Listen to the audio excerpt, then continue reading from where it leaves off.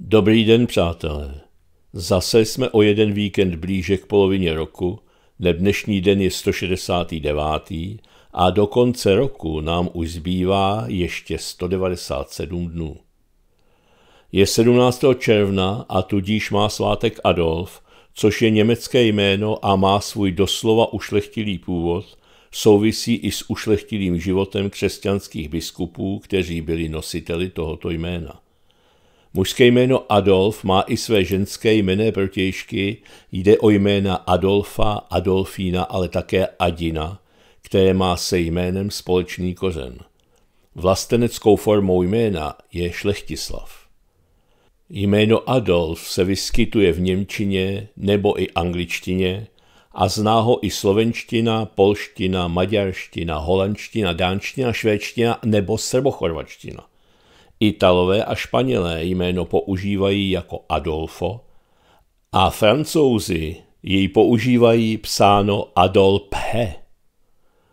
Snad nejslavnějším českým nositelem jména Adolf je malíř a ilustrátor Adolf Born a ještě známější než on sám je dvojice Mach a Ševestová ze stejného kresleného seriálu, na kterém se Born výtvarně podílel. Mužské křestní jméno Adolf má svůj původ ve starogermánštině. Kořeny jména souvisejí se jmény Atalwolf a Adhaulf. Vznikl ze starogermánského Adalwolf. Výkladově se překládá jako ušlechtilý vlk. Adal v Němčině znamená ušlechtilý a Wolf vlk. Význam jména je spojen s ušlechtilostí a vznešeností. Jméno zaznamenalo velké obliby v křesťanství. Nejstarší známý Adolf, křesťanský mučedník, zahynul v roce 755. Během středověku bylo jménem Adolf pojmenováno mnoho biskupů. Adolfů je u nás prý podle posledních známých statistik 4371 a tudíž opanovali v popularitě 94. místo. Ještě řeknu pár slov ke jménu Adina, která má dnes také svátek a o které jsem se už zmínil s tím, že má společný kořen se jménem Adolf, jež je uváděno původem jako starogermánské. Někde jinde jsem se dočetl, že jméno Adina má původ hebrejský, přičemž významem se jedná o jemnou, citlivou dívku. Takže máme teď nad čím mudrovat. Původ starogermánský nebo hebrejský. Ovšem aniž by nám tato otázka nějak překážela, popřejme všem Adolfům, Adinám, ale také Adolfám, Adolfínám, Adinům, Manuelům, Samelům a Ismailům, kteří všichni dnes slaví své jmeniny, vše nejlepší. A abych nezapomněl, aby bylo jasno, chtěl bych skázat čučkařům generála et generála a také televizím, především CNN Primanevs, že tím, že jsem si dovolil popsat vše nejlepší ke svátku Adolfům, nejsem, ale skutečně nejsem obdivovatel nacistického Německa a Adolfů Hitlera a Eichmana. K tomu předešlému přidám informaci o tom, že dnes je Mezinárodní den proti rozšiřování pouští a sucha a také Světový den sdělovacích prostředků. Po významných dnech ve světovém měřítku tu mám naše obvyklé malé historické okénko, ve kterém připomeneme některé události z historie. 17. června roku 653 papež Martin I. byl na příkaz císaře Konstantina II zajat a unesen do Konstantinopole. Od 17. června roku 1094 je Valencia ve Španělsku opět v křesťanských rukou dobyta zpět El Sidem po 20-měsíčním obléhání. 17. června 1312 dal Jan Lucemburský své manželce země panský dvůr na Starém Brně pro nově založený klášter Dominikánek u svatéAny. A 17. června 1412 Jan Hus a Jeroným Pražský vystupují proti prodeji odpustků na půdě Pražské univerzity. 17. června 1696 zemřel ve věku 67 let polský král Jan III. Soběsky. A nyní třikrát 17. červen roku 1843. Při krve prolití v Běchovicích bylo zastřeleno sedm lidí. Dále pan slovanský kongres vedený Palackým požadoval transformaci rakouského císařství do Federace rovnocených národů. A po třetí a nakonec těchto tří událostí vztahujících se k 17. červnu po pěti dnech bojů se město Praha vzdalo generálu Vindy Škrécovi a tak skončilo červnové povstání roku 1848. 17. června 1885 připlula socha svobody do New Yorku. Tak se nějak divím, že si ta chudinka už dávno nezakryla oči, aby nemusela sledovat to, co se kolem ní děje. A 17. červen roku 1900 je zaznamenán jako vznik značného počtu nových českých politických stran, který si vynutil vytvoření Národní rady České, která měla sjednocovat jejich postup. Nepřipomíná vám to něco? A pak, že se dějiny neopakují stále dokola. Já stále dokola opakuji slova George Santayany o tom, že kdo zapomíná na své dějiny, je odsouzen je opakovat. 17. června 1903 stavební komise rozhodla o postavení rozhledny na Pradědu a 17. června 1948 v Praze začal provoz autobusového nádraží na Florenci. V roce 1963 nejvyšší soud Spojených států rozhodl, že zákon vyžadující modlitbu před vyučováním ve státních školách je protiústavní a nemůže být vyžadován. A 17. června 1972 došlo k vloupání do ústředí demokratické strany v komplexu Watergate, které vyústilo v aféru Watergate a posléze odstoupení Richarda Nixona z úřadu prezidenta Spojených států. A roku 1999, 17. června samozřejmě, vyhlásili zaměstnanci Velamosu, kterým podnik zadržoval mzdy první stávku v České republice po plišáku. A v roce 2007, 17. června, umělecká skupina Stohoven napadla vysílání české televize a v pořadu Panorama odvysílala záběry fiktivního jaderného výbuchu v Černém dole. V roce 2013, 17. června, premiér Petr Nečas oznámil, že podává demisi na funkci předsedy vlády. Učinil tak po nedělním večerním zasedání grémia ODS, které jednalo paralelně se schůzkou špiček koalice. Skončil také na postu šéfa ODS. V roce 2015, 17. června, v americkém Charlestonu zemřelo devět osob při masové střelbě v kostele Africké metodistické episkopální církve. A v roce 2017, 17. června, v Portugalsku vypukla série lesních požárů, které zabily nejméně 64 lidí a zničili několik vesnic. Nabízí se otázka. Vznikly sami? Malé historické okénko zavíráme a protože dnes není k dispozici žádná pranostika, tak už jen přidám teplotní rekordy k dnešnímu dni. Uprostřed první světové války 17. června roku 1916 ukázali teploměry pouhých 7 stupňů Celsia. Ovšem v roce 2021 vylezly na 33,2 stupně Celsia. Průměr pak máme rovných 18 stupňů.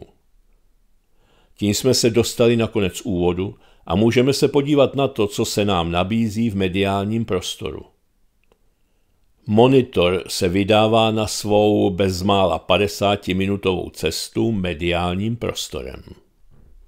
Spolu s necenzurovanou pravdou dnes začneme v Kalifornii. Kalifornie zavádí plán daní za míly. Bude platit i pro elektromobily. Nebudete nic vlastnit a budete šťastní. Stát vás finančně zničí daněmi z vašeho majetku až natolik, že se ho raději vzdáte. Tak přesně tam míří zelené zákony v praxi. Příkladem může být zhůvěřivost, kterou schválil Evropský parlament, když nařídil, že každý majitel energeticky nešetrného obydlí si jej musí zrekonstruovat, samozřejmě pod hrozbou drakonických daní a později i vyvlastnění. Dalším počinem jsou uhlíkové daně jako takové, které bude od příštího roku EU uvalovat nejen na majitele nemovitostí, ale také na majitele aut se spalovacím motorem. Ovšem pokud se lid podřídí a začne ve velkém nakupovat elektromobily, pak zřejmě i v Evropě dojde na totéž, s čím aktuálně přichází Kalifornie. Majitele elektromobilů budou platit další speciální daň za míly. Jaký je skutečný cíl? Nikomu se nesmí vyplatit auto vlastnit. Tak si nakonec majitelé uvědomí, že je to totéž, jako by si auto pronajímali. Postupně proto sami přejdou od vlastnictví ke sdílení. Zákazníci, kteří si v Kalifornii zakoupili elektromobil, možná nevěděli o novém plánu daně za míly, než se rozhodli koupit si svá vozidla. Kdyby věděli o potenciálních dodatečných nákladech, možná by se rozhodli jinak ale bez ohledu na osobní volbu kalifornské zákony nařizují, aby všechny nové vozy byly od roku 2035 elektrické. Tento systém platby za jízdu v podstatě promění vaše auto na pronájem, řekl Patrick Wood. Po citaci z kurzu o technokracii v roce 1934 dodal Neříkejte mi, že se zde nehraje o technokracii. Ještě bychom dodali, pamatujete si na hrozbu Světového ekonomického fóra nebudete nic vlastnit?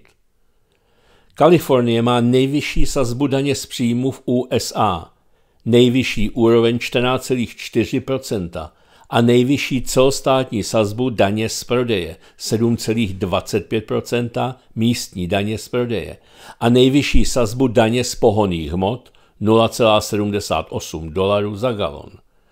Spíše z legrace se říká, že Kalifornie by zdanila vzduch, který dýcháme, kdyby mohla. No, poslední kalifornský daňový návrh se tomu docela blíží. Stát nabírá řidiče do pilotního programu sledování a zdanění najetých kilometrů. Plán vychází ze skutečnosti, že Kaliforniané přešli na elektrická a hybridní vozidla rychleji než jiné státy USA kvůli zelené iniciativě státu, která přesvědčila obyvatele Kalifornie, aby přešli na hybridní nebo elektrická vozidla z vozidel se spalovacím motorem. I když jsou elektrická vozidla dražší, Kaliforniané byli zlákáni k jejich nákupu dotacemi a různými dalšími úlevami ale jako většině vládních programů to nebylo dobře promyšlené. Kalifornie kvůli tomuto schématu přišla o miliony daňových příjmů a nyní to musí vynahradit. Z mnoha možností, které má k dispozici, vybrala plán začít sledovat řidiče pomocí monitoru GPS. Podle nového plánu by mělo být možné sledovat ujeté kilometry připojením elektronického zařízení do vozidla nebo pomocí systému sledování vozidla. Není jasné, k čemu může vláda tyto nové informace použít. Hlavní stránka webu Caltrans pro program s názvem California Road Charge představuje slogan Financování dopravy spravedlivým způsobem. Na další stránce je uvedeno, že poplatek je spravedlivý, průhledný a udržitelný. Účtováním přemeštěného poplatku za míly by mohli účinně snížit počet aut na silnicích samozřejmě ve jménu záchrany světa před klimatickou apokalypsou. Mohli by také snadno účtovat různé poplatky na základě příjmu řidiče, aby byla zavedena v uvozovkách spravedlnost. V Kalifornii jsou základní potřeby, jako jsou silnice, školy a bezpečnost upozaděny. Státní politici se více zaměřují na změnu teploty země, nápravu metly otroctví v podobě reparací všem černochům, malováním duhových přechodů pro chodce a budování bydlení pro migranty. A ještě jednou z téhož zdroje. Macron se svěřil se svými plány na zničení strany Marine Le Pen pro volby v roce 2027. Za velmi rychlým vyhlášením nových voleb v reakci na drtivou výhru Marine Le Pen a jejího národního združení Nestál ani tak fakt, že samotný Macron se svým eurohujerským slepencem propadl, takže si tímto nyní sype popel na hlavu. Ne, ve skutečnosti počítal s nepokoji a věděl, že to nebude mít Marine Le Pen a její, ale spíše Bardolovo národní združení jednoduché, jak se sám svěřil důvěrnici Uršule, tak očekává, že tento ústupek povede v roce 2027, kdy se očekávají volby prezidenta k výhře zástupce jeho politického tábora.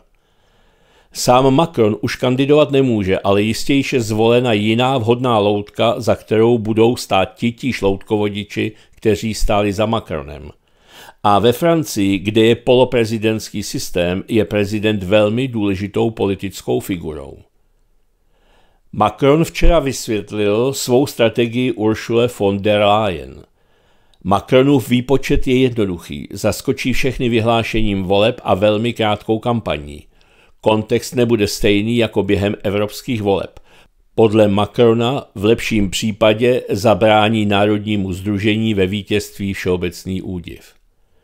A pokud se v nejhorším případě pro Macrona podaří Národnímu združení vyhrát volby a mít většinu, pak půjde o instalaci Bardely, který je současný předseda Národního združení v Matignonu a grilování Národního združení tím, že vítěznou stranu donutí vládnout, aniž by mohla získat výsledky v souladu se svým programem, to vše doprovázené společenským chaosem, takže Marine Le Penová již nebude mít žádnou šanci na vítězství v roce 2027.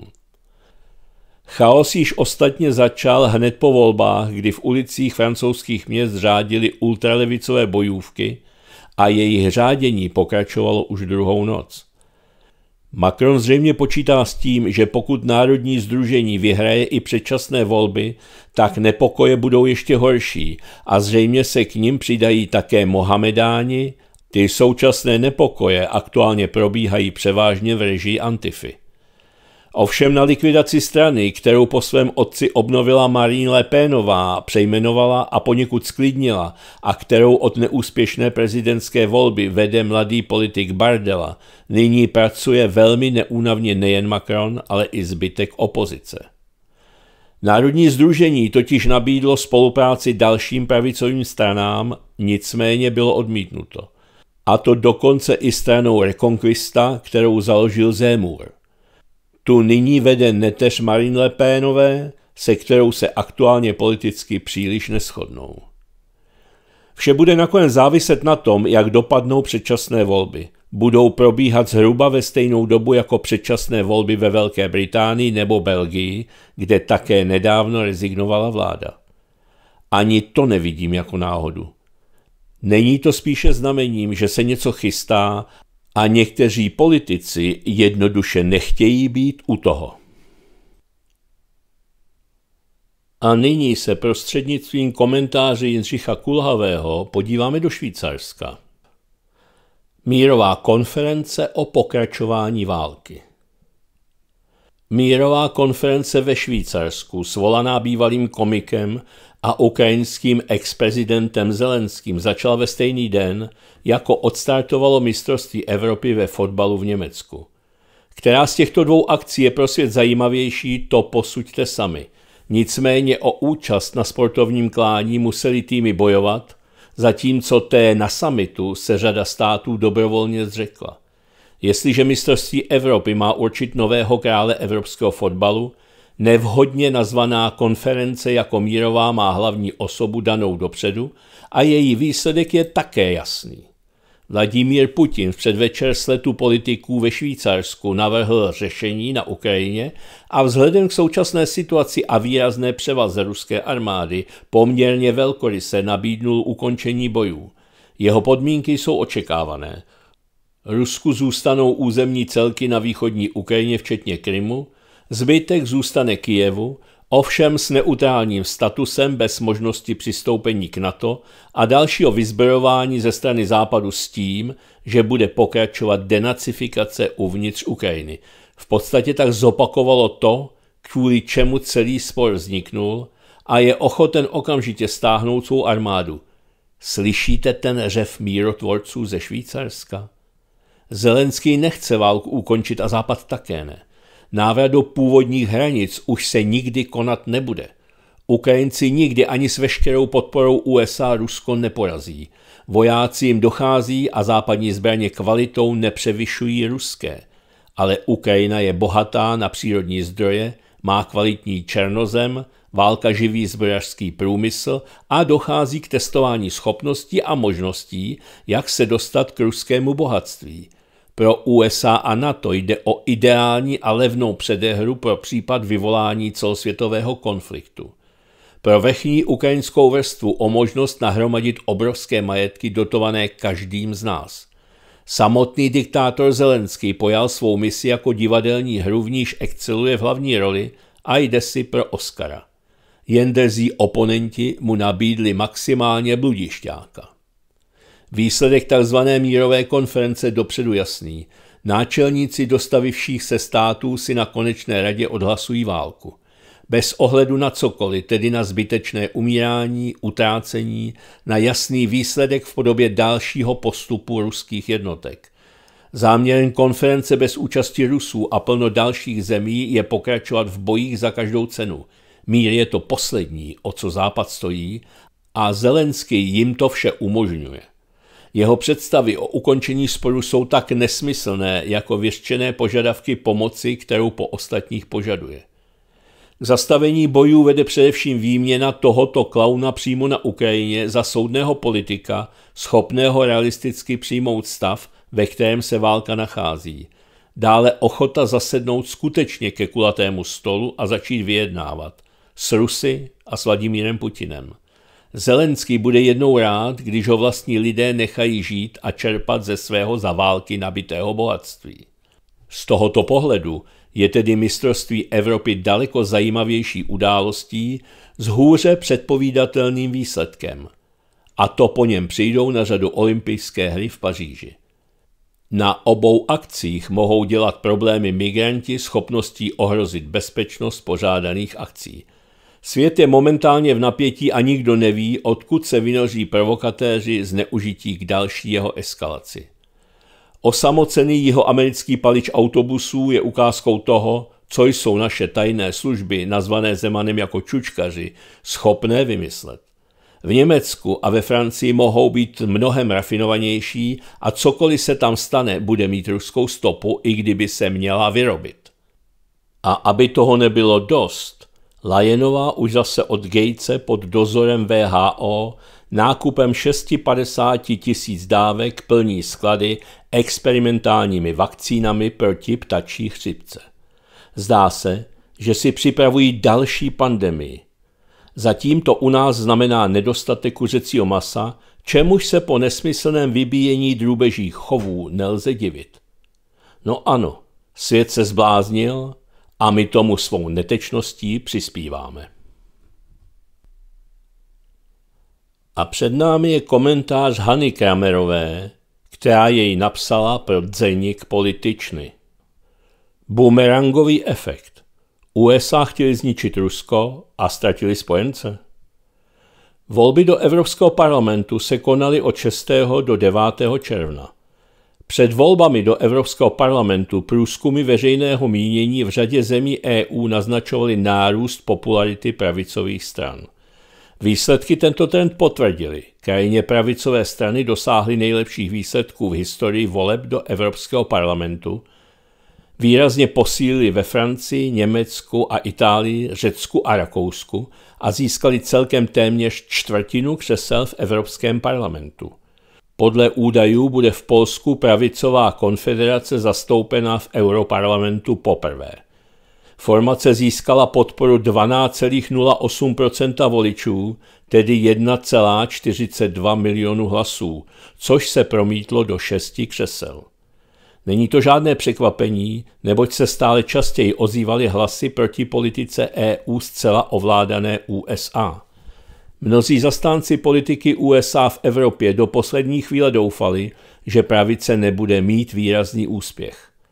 Zástupcům pravice se však podařilo dokázat, že dnes zastupují zájmy politicky nejaktivnějších částí Evropanů.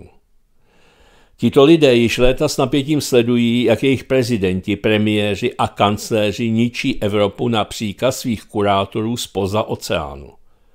Migrační krize, energetická krize, inflace, průmyslová recese, kolaps sociální politiky, rychlé zhoršování vztahů se zeměmi globálního jihu a Asie, to vše konzervativní Evropany netěší.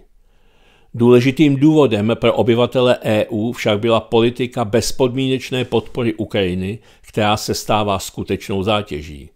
Před dvěma lety představitelé USA prohlásili, že bojové akce na Ukrajině skončí do tří měsíců, protože Rusko není schopno vést bojové operace delší dobu. Po dvou a půl letech je zřejmé, že ukrajinský ozbrojený konflikt se již otevřeně proměnil ve zkušební pole pro vojenský střet mezi Washingtonem a Moskvou. Ukrajina a Ukrajinci jsou nyní důležití pouze jako geografické bojiště, aby se válka nepřenesla přes státní hranice a neohrozila ostatní. Evropští představitelé již nejsou schopni před svými občany skrývat skutečný rozsah své v uvozovkách pomoci Kijevu. A nebudou toho již schopni ani nadále. Konec konců Bílý dům udělal z Ukrajiny polokolonii Spojených států a zároveň donutil EU, aby v uvozovkách nový stát zcela podpořila. Zelenského režim již nemůže sám o sobě přežít. Evropské země jsou nuceny posílat nejrůznější zbraně a výzbroj, čímž vyčerpávají své vlastní zásoby na nebezpečnou úroveň, předávat Ukrajině spravodajské informace, posílat stále více elektřiny kvůli nedostatku vlastní energie, o kterou přicházejí kvůli ruským náletům a tak dále. Pokusy USA o ekonomickou izolaci Ruska rovněž selhaly. Možná je to proto, že navzdory 20 tisícům omezením uvalených USA a EU získal Kreml důvěru jako spolehlivý partner, který bude plnit své závazky bez ohledu na situaci.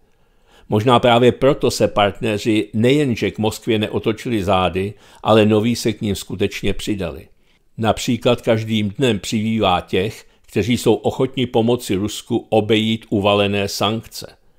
Součástí týmu pomocníků Moskvy se tak staly Čína, Indie, Spojené arabské emiráty, Turecko, Maďarsko a další. Situace příznivá i pro hospodářské spojenectví s Ruskem, které oproti EU nabízí výhodnou hospodářskou spolupráci bez jakýchkoliv omezení či zákazů.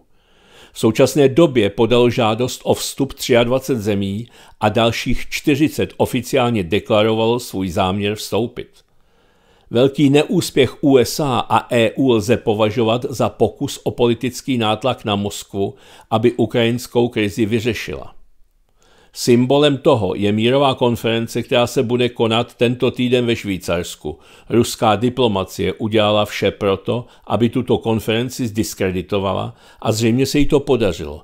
Nejvýznamnější představitelé zemí globálního jihu, jako jsou Čína, Brazílie a Indie, se konference odmítli zúčastnit, protože se domnívají, že o míru na Ukrajině nelze jednat bez Ruska, které na konferenci ve Švýcarsku ani nebylo pozváno. Čína a Brazílie zároveň oznámili, že uspořádají vlastní konferenci, na kterou prý pozvou jak ruské, tak ukrajinské zástupce. Lidová moudrost říká, že kdo pro někoho kope jámu, sám do ní padá. A tak se také stalo. Brusel chtěl tak zoufale pomoci Spojeným státům porazit Rusko, že se stal hlavním sponzorem ukrajinských nacistů. Více než dva roky vytvářeli američtí politici v myslích evropských občanů dojem, že ukrajinský konflikt je pod kontrolou a že jde jen o dočasnou krizi, která může zhoršit jen životní úroveň a vést k určitým ekonomickým problémům a že poté nastane nový rozmach ještě lepší než ten předchozí. Proto je nyní nejdůležitější ochránit demokracii před v uvozovkách zlým Putinem a ukázat mu, že zachování jeho hodnot je pro Západ důležitější než cokoliv jiného. To je již dlouho mantrou západní politiky vůči ukrajinskému konfliktu. Jinými slovy, šlo o ideologii, tedy o nutnost zastavit Vladimíra Putina, aby jeho úspěchy nepodněcovaly další politiky k tomu, aby bránili a ohrožovali postavení Spojených států ve světě. To je hlavní cíl USA. Zdá se, že podobná americká ideologie již nebude v EU akceptována.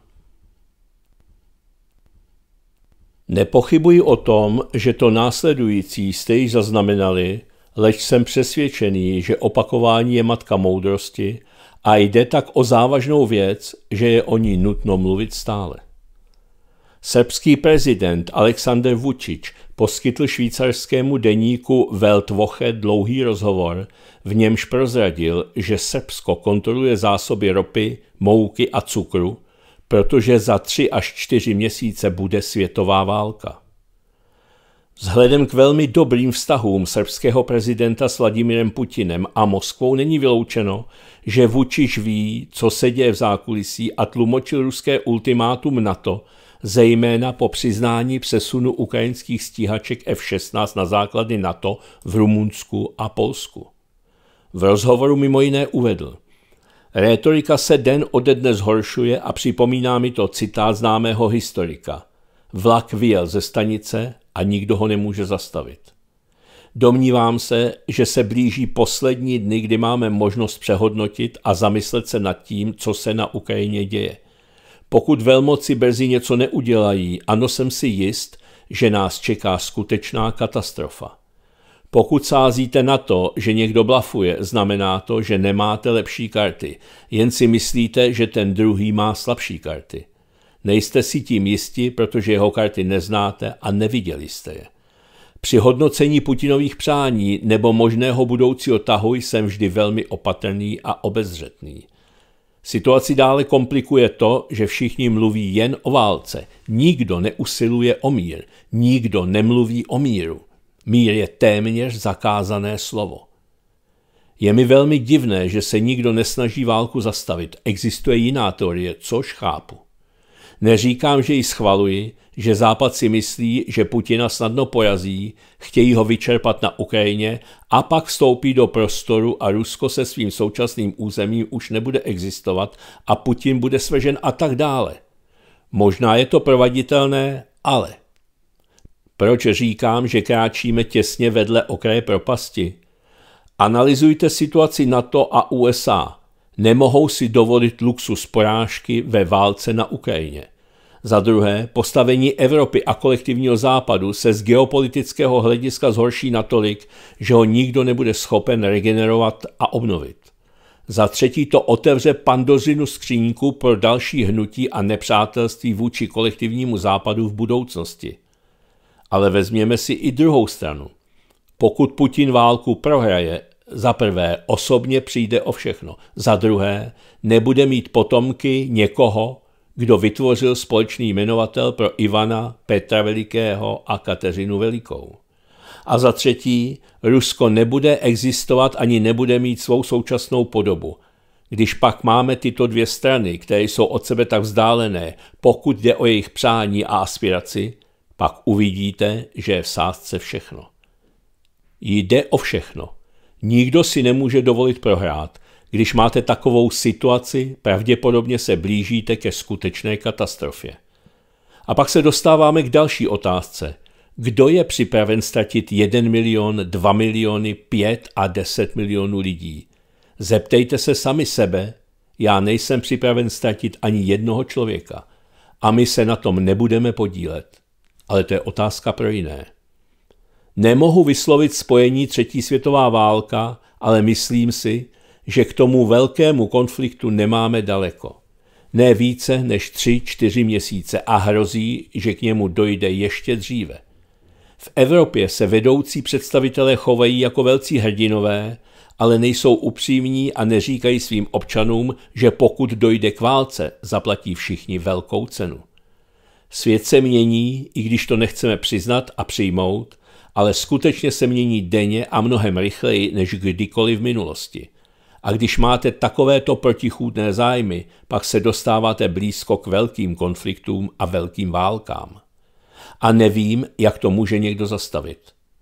Abych byl upřímný, tak bych to viděl nejraději ze všeho. Dnes jsem si ověřoval fakta, pokud jde o naše zásoby ropy, mouky, cukru, soli a všeho možného, protože nevím, co nám všem přinese zítřek. To následující nás taky příliš nemůže uklidnit. I když, eh, kdo ví, jestli to není naopak. Možná, že to, co teď uslyšíte, zapůsobí na síly, které tu válku tak zoufale chtějí, jako jeden z ostrašujících argumentů. Je tu Echo 24. Rusko umístilo na Krymu experimentální protizdušný systém S-500. Možná se střeluje satelity i hypersonické střely. S-500 Prometheus je mobilní systém protizdušné obrany odvozený od dosud nejnovějšího S-400.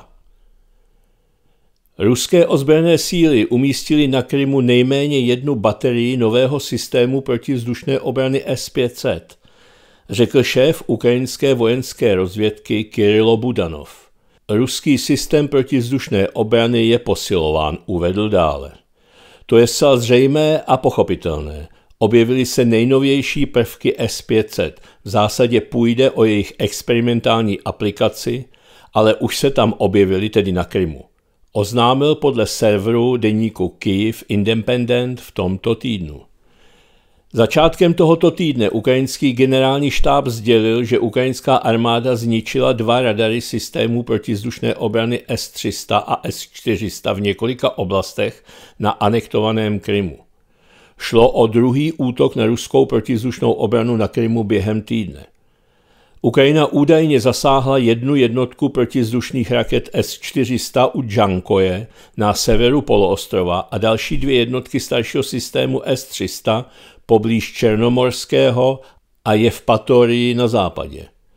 S-500 Prometheus je mobilní systém protizdušné obrany odvozený od dosud nejnovějšího S-400, jehož vývoj začal v roce 2010, to je tři roky po prvním operačním nasazení S-400 společností Almas Antey. Vývoj S-500 utrpěl značná spoždění. Rusko jej prohlásilo za dokončený už v roce 2011, ale odložilo sériovou výrobu z roku 2014 na rok 2017, potom na rok 2021 a nejnověji na rok 2025. V každém případě první experimentální baterie byly dodány k provedení odborných zkoušek a seznámení se s novým systémem od září 2021. Podle ruských zdrojů by systém měl být schopen zasáhnout letadla páté generace a satelity na nízké oběžné dráze, stejně jako balistické rakety a dokonce i hypersonické řízené střely. Podle informací z otevřených zdrojů se jedná o univerzální systém protivzdušné obrany dlouhého dosahu a výškový záchytný systém, jež dosahuje 600 kilometrů. Systém může současně zaměřovat až 10 balistických raket létající rychlostí až 7 km za sekundu, to jest mezikontinentální balistické střely ICBM, stejně jako letadla, vrtulníky a řízené střely. Z toho, co je známo, vlastnosti S-500 by výrazně převyšovaly vlastnosti S-400. Dosah detekce síle S-500 by byl o 200 km delší než u S-400, to je přibližně 800 km, přičemž maximální výška záběru by byla 200 km, ale jiné zdroje uvádějí dosah 500 km a maximální nadmořskou výšku 100 km. V případě spojení s radarem nové generace by jeho detekční dosah vzrostl na 2000 km. Nicméně na západě panují pochybnosti a to hlavně ohledně ničení hypersonických raket. Zdá se, že S-500 ještě nikdy neprovedl test tohoto typu, přestože Rusko vlastní hypersonické nosiče, na rozdíl od západních zemí, a to již v aktivní službě, a používá je ve válce na Ukrajině. Jde o H-47M2 Kinžál a 3M22 Cirkon. Rozmístění S-500 na Krymu není údajně známo, ale je pravděpodobné, že byl dislokován poblíž Sevastopolu k obraně jeho přístavu nebo ve východní části k obraně mostu přes Kerčský průliv a další vojenská zařízení umístěných v jeho okolí. A teď tu mám zase něco ze soudku o naprostém zešílení světa. Tentokrát z Německa. Mám tu necenzurovanou pravdu. Sexuální delikvent, který se vydával za policistu, byl umístěn do ženské věznice. Protože také u nás již ústavní soud tvrdí, že kvůli úřední změně pohlaví by se neměl nechat nikdo nuceně operovat, lze předpokládat, že během příštího roku budeme i my zde svědky biologických mužů v ženských sportech, šatách, toaletách či věznicích. Často zde proto budu upozorňovat na bizarní případy, které však již za rok mohou být realitou i v našich končinách. Sousední Německo schválilo transzákon, podle kterého se snaží za dané pohlaví pouze prohlásit zhruba před rokem. Nicméně přesto lze najít již poměrně hodně případů, kdy se biologičtí muži objevili v místech do té doby pro ně zapovězených, včetně ženských věznic, jako v aktuálním případu. Na něm je mimo jiné také zajímavý i fakt, že úchyl, který byl umístěn do ženské věznice, je tureckého původu. Co na to jeho soukmenovci? Mužský sexuální delikvent, který se identifikuje jako transgender, byl v tichosti umístěn do ženské věznice v Německu, aby si odpikal svůj trest. Emer, který byl v médiích označován jako Lara K., si v současné době odpikává sedmiletý trest odnětí svobody za přitěžující loupež a vydírání a nachází se ve vazbě na základě dalšího obvinění zdržení materiálů týkajících se sexuálního zneužívání dětí a vydávání se za policistu. Soudní jednání, která probíhají od začátku června, odhalila, že 27-letý muž již byl poslán do ženské věznice v Berlíně, přestože si údajně ponechal mužské genitálie. Emer byl poprvé odsouzen v roce 2014 na tři roky a tři měsíce vězení za sexuální delikt. Byl umístěn pod dohled úřadu státní kriminální policie ve Sprévě, což je Centrum pro sexuální delikventy ohrožené recidivou. I když jsou podrobnosti o odsouzení omezené, je známo, že případ zahrnoval masivní násilí a znásilnění. Po odpikání trestu byl Emer v roce 2017 přistižen při policejní operaci v Neuköllnu, kde se vydával za policistu. Emer utratil velké množství peněz za policejní uniformu a dokonce využil policii autorizovaného obchodníka k nákupu oficiálních nášivek na vybavení. Není jasné, proč v té době nebyl stíhán a uvězněn. V srpnu 2019 byl Emer znovu chycen, když se vydával za policistu, když pomáhal svým v úvozovkách kolegům zatknout muže na Hardenbergplatz. Později se zjistilo, že se mezi dubnem a srpnem téhož roku zúčastnil několika policejních operací. A dále se ukázalo, že v jeho telefonu byl také nalezen materiál o sexuálním zneužívání dětí. Přibližně ve stejnou dobu se začal identifikovat jako v uvozovkách žena a požádal soud, aby ho oslovoval pomocí ženských zájmen. Ale znovu byl MR propuštěn na vlastní žádost, což mu dalo příležitost spáchat ještě větší zločin. Tentokrát začal okrádat lidi u bankomatů, když vybírali peníze a pomocí nože jim vyhrožoval, aby mu dali hotovost.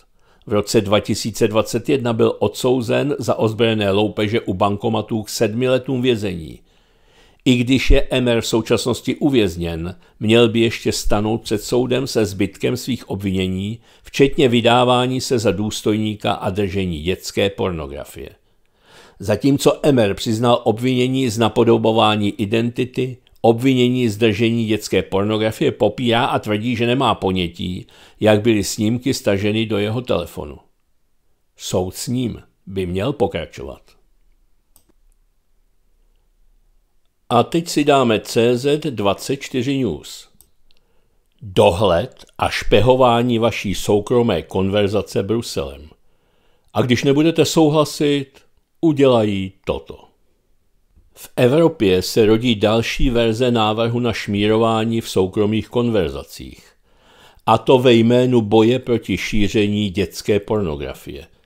Tentokrát však s myšlenkou, že uživatelé sami ke skenování fotografií či zasílaných odkazů v konverzacích svolí. Neměli by totiž příliš na výběr, pokud odmítnou, přijdou o možnou část funkcí využívat, tedy například zasílat fotografie. Myšlenka za tímto i předchozím návrhem, který v minulém roce taktéž zbudil kritiku odborníků i některých politiků, je reagovat na celosvětový trend rostoucího počtu příspěvků zobrazujících sexuální zneužívání dětí. Jen za rok 2021 jich podle Evropské komise bylo na 85 milionů, což je zhruba dvoutřetinový nárůst proti předloňsku. Za deset let tato trestná činnost v EU narostla o tisíce procent. Dosud fungovalo hlášení a odstraňování závadných snímků dobrovolně. Názory na způsob, jak situaci zlepšit, se však diametrálně liší.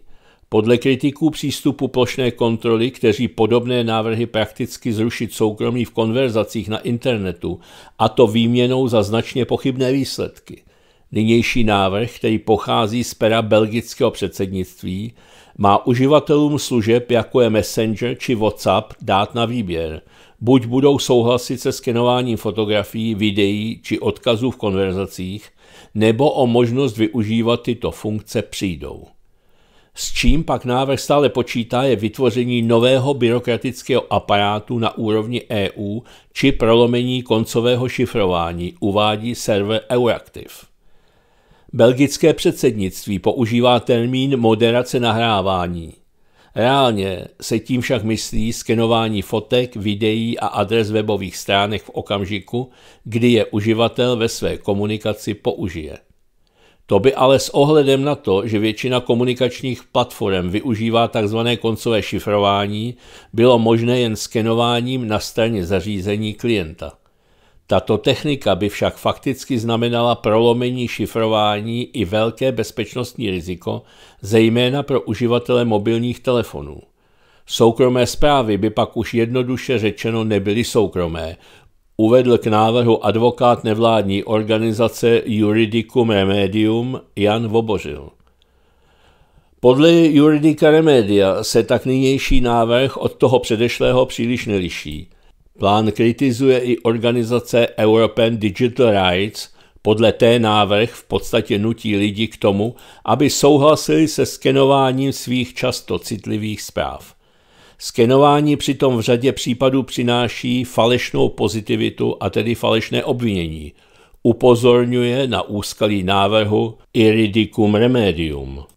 Nynější návrh pak oproti předchozímu vylučuje skenování hlasové komunikace, zůstat má tak pouze možnost nařídit společnostem provozujícím komunikační nástroj skenovat v konverzacích fotografie, videa či hypertextové odkazy, v předchozí verzi byla vyčleněna jen komunikace v reálném čase, dodává Euractiv.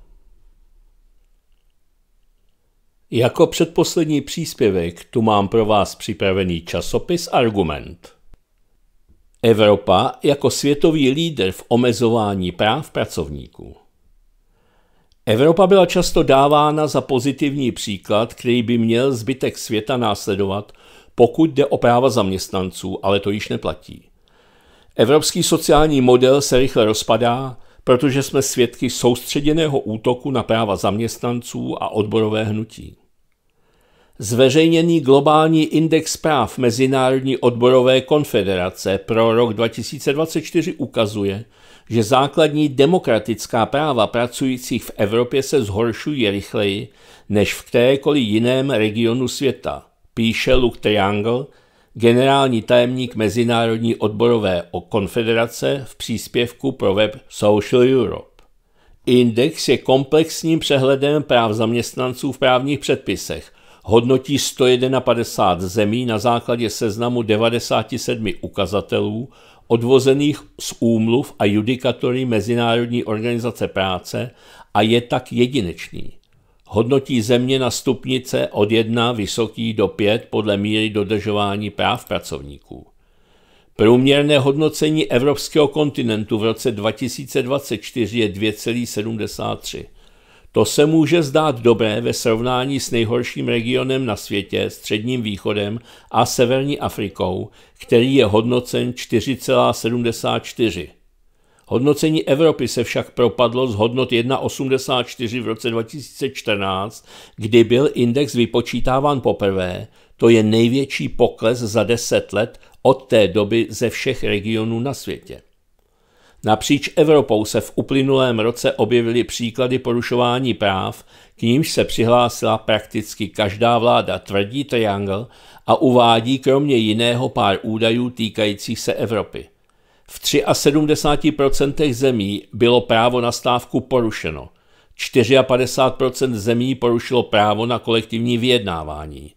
41% zemí vyloučilo právo zaměstnanců založit odborovou organizaci a vstoupit do ní. 16 zemí bránilo registraci odborů, ve 13 zemích měli pracovníci omezený nebo žádný přístup ke spravedlnosti. Šest zemí omezovalo svobodu projevu a schromažďování a ve 12 zemích byli zaměstnanci zadržováni a zatýkáni a ve čtyřech zemích byli pracovníci vystaveni násilným útokům. Podle autora to pro Evropu znamená demokratickou krizi. Odbory, práva zaměstnanců a demokracie spolu úzce souvisejí. Jedno bez druhého není možné. Je zřejmé, že evropský model zaměřený na zaměstnance již není pro miliony lidí realitou, což má vážné důsledky pro zaměstnance v regionu a hrozí zrychlující se globální závod ke dnu v oblasti práv zaměstnanců.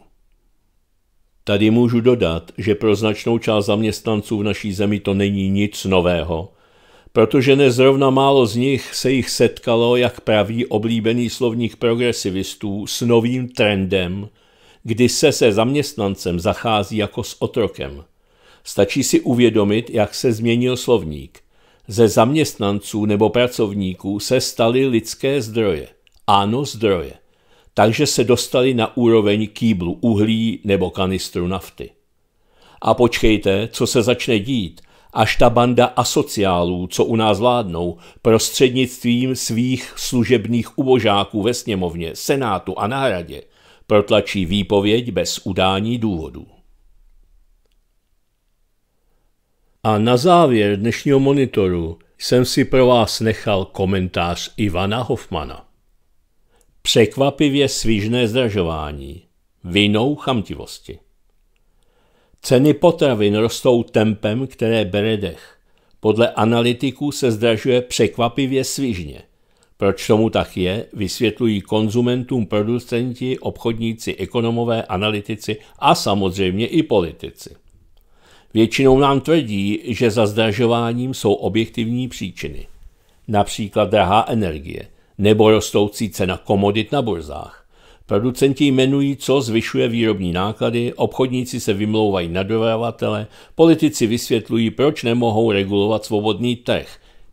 To píše v komentáři Ivan Hoffman na slovenském webu Pravda.sk. Zdražování nepochybně souvisí s ekonomickou situací, která se objektivně zhoršuje. Ekonomové nám však vysvětlují, že jsme si sami na vině, protože zdražování je důsledkem klesající spotřeby domácností.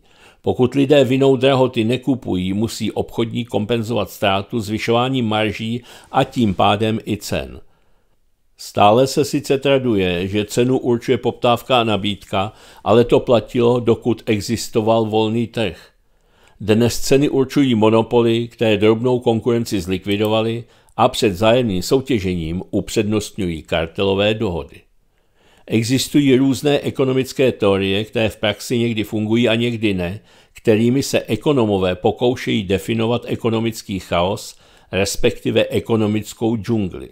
Na rozdíl od přírodních věd je ekonomika vědou společenskou, tedy neexaktní. Ještě za Nobela vědou nebyla. Proto ve své závěti Nobel s oceňováním ekonomů nepočítal. Až v roce 1968 to za něj švédští akademici napravili a rok od roku se snaží z ekonomického mainstreamu vydolovat nějakého laureáta. K tomu, abychom pochopili zdražování, nám ekonomů s jejich komplikovanými teoriemi není třeba. Příčinou zdražování je obyčejná lidská chamtivost. Nezdražuje se proto, že je to nutné, ale proto, že je to možné. Obchodník nejprve nízkými cenami zlikviduje konkurenci a když ovládne trh, diktuje ceny tak, aby měl co nejvyšší zisk. Zisk přitom není nutným prostředkem k něčemu důležitému, co se realizuje za peníze. Zisk je konečným cílem, smyslem podnikání. Zisk z vyluxovaných peněženek občanů se přirozeně akumuluje na kontech těch nejchamtivějších, kteří nikdy nemají dost. Tomu samozřejmě rozumí i ekonom. V pohledu na chamtivost však ekonomové nejsou jednotní. Někteří chamtivost vnímají jako hybnou sílu kapitalismu, jiní jako komplikaci, která kapitalismus deformuje a likviduje. Současný neudržitelný stav, kdy většina občanů z akumulace kapitálu chamtivci nemá užitek, navrhují někteří ekonomové řešit opuštěním kapitalismu a druzí jeho zavedením. Právě myšlenka, že dnešní krizi by vyřešilo obnovení kapitalismu, se těší pozornosti střední vrstvy, na které tradičně stojí stát. Střední vrstva je publikem ekonomů, kteří tvrdí, že pravý kapitalismus si zprivatizovala a následně dovedla ke krachu partička chamtivých spekulantů. To podle nich je třeba napravit, vrátit se ke kořenům do doby, kdy ještě fungoval americký sen, aby budoucnost patřila lidem schopným, usilovným a vzdělaným. Nápad obnovit kapitalismus je zajímavý, ale otázkou je, zda o kapitalismus stojí i ti chamtivci. Mýlil jsem se. Komentář Ivana Hofmana nebyl dnešní poslední, protože mi zbylo ještě něco málo času a tak si dáme e-republiku, která přinesla překlad článku Jonase E. Alexise deset nejděsivějších citátů z hrůzostrašné vražedné kariéry Henryho Kissingera. Oslavovaný Kissinger podle jeho vlastních výroků byl to masový vrah nebo jen normální cynický americký politik. Za prvé, sovětští židé, emigrace židů ze Sovětského svazu není cílem americké zahraniční politiky. A pokud v Sovětském svazu dávají židy do plynových komor, není to americký zájem, možná humanitární záležitost. Za druhé, bombardování Kambodže – Nixon chce masivní bombardovací kampaň v Kambodži, ale dělá, že ne. Je to rozkaz, který je třeba plnit. Všechno, co létá, bude bombardovat všechno, co se na zemi hýbe. Za třetí, bombardování Větnamu. Je to vlna letadel za vlnou. Oni ani nejsou schopni vidět ty B-52, co už schodili milion liber bomb. Vsadím se, že tam budeme mít víc letadel za jeden den, než měl Johnson za měsíc. Každé letadlo unese asi desetkrát větší náklad než letadlo z druhé světové války. Za čtvrté, Rudí Chmérové. Kolik lidí zabil minister zahraničí Rudých Khmerů Jengsary? Desetitisíce? Měli byste říct Kambodžanům, to je strudým chmérům, že s nimi budeme přátelé. Jsou to vražední kriminálníci, ale nenecháme je v tom samotné. Jsme připraveni navázat s nimi lepší vztahy. Řekněte jim druhou část, ale ne to, co jsem řekl předtím. Za páté Dan Ellsberg. A ten syn, a to si myslím, že jsem ho znal dobře, jsem si jistý, že má nějaké další informace a vsadil bych se, že má další materiály, které si šetří na soud. Prý příklady amerických válečných zločinů, které ho donutili jednat. To je způsob, jak jedná. Je to opovržení hodný bastard. Za šesté, Robert McNamara. Bů, bů, pořád se bije v prsa, že? Pořád se cítí provinile. Za sedmé, atentát. Je to akt šílenství a národního ponížení mít zákon zakazující prezidentovi nařídit atentát. Za osmé, Chile. Nechápu, proč musíme stát stranou a sledovat, jak se země stává komunistickou kvůli nezodpovědnosti svých občanů. Ty věci jsou příliš důležité pro čilské voliče, než abychom se mohli rozhodnout sami. Za deváté, Nezákonnost a protiústavnost. Nelegální věci děláme okamžitě. Protiústavní věci trvají o něco déle. A za desáté, o své vlastní postavě. Američané mají rádi kovboje, který jezdí úplně sám do města, vesnice se svým koněm a s ničím jiným. Tato úžasná romantická postava mi vyhovuje právě proto, že být sám, to bylo vždy součástí mého stylu nebo, chcete-li, mé techniky. A to je pro dnešek vše. Od mikrofonu monitoru studia Kalich Svobodného rádia se loučí a na setkání zítra, ovšem dáli Bůh a cenzor, se těší Ivan Votava. Naschledanou.